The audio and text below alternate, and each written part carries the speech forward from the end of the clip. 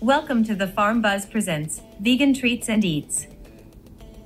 Today, we're showcasing two easy vegan holiday meal options from Sprouts and Whole Foods. First up, Sprouts Market. Their vegan roast meal serves two to three people and includes the field roast celebration roast with porcini mushroom gravy, cornbread stuffing, green bean casserole, sweet potato casserole, and cranberry sauce for $49.99. Each package included its own instructions, but all three Sprouts sides were prepared identically.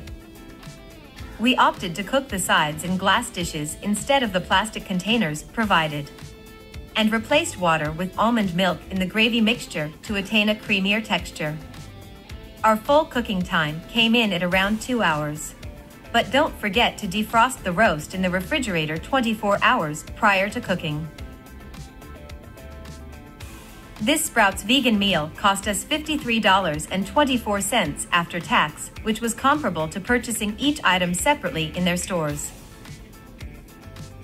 For more details and our opinions on each item, don't forget to visit the Farm Buzz blog. Next, we have Whole Foods.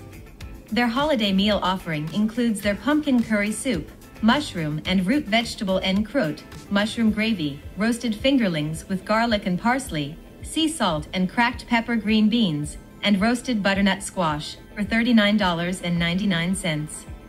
We also added a vegan pumpkin pie for $14.99.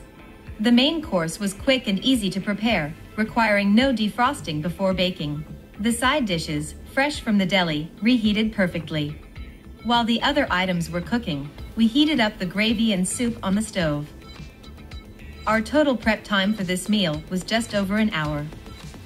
Including the pie, this Whole Foods holiday vegan meal totaled $57.78 after tax, a great value for the amount and quality of food provided.